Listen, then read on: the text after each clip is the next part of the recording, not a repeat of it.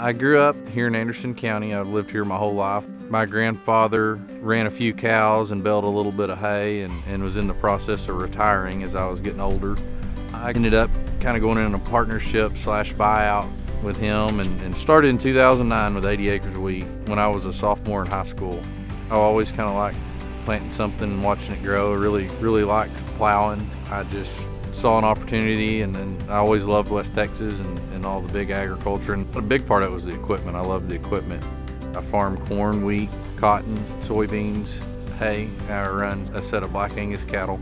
Everything that I farm, I broke out of pasture or cow land. A lot of it is Trinity River bottom, just kind of heavy black clay, really, really rich farm ground. It was kind of meant for corn and cotton.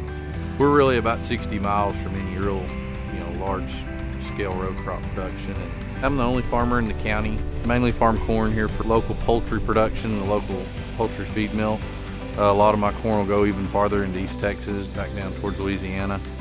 I actually met Braden through Farm Bureau, so thank you Farm Bureau for that. I met Jordan my first year of being a Young Farmer and Rancher District 9 committee member at my first district meeting in Nacogdoches, Texas. I met him at the dinner. He messaged me on Facebook, found me, hunted me down, and we went on a few dates. We hadn't had a hiccup yet. We met in August and were engaged in March, and we got married that fall in November.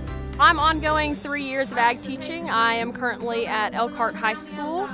I think my favorite thing, of course, I love teaching inside the classroom, but my favorite thing is working one on one with students outside of the classroom with their animal projects. A lot of them don't know the multitude of venues and jobs there are in agriculture, and so we like to take our time to teach those different career options. That's why we teach so many different classes. Never knew an ag teacher was as busy as a farmer, but I mean, that girl, she works daylight till dark just like I do. I love my job. Braden's a hard worker. I, would like to think of myself as a hard worker. And so, of course, I want to continue growing our program and then growing our farm at the same time. Maybe in the future we'll think about growing the family a little bit, but we're both enjoying being young and just being together.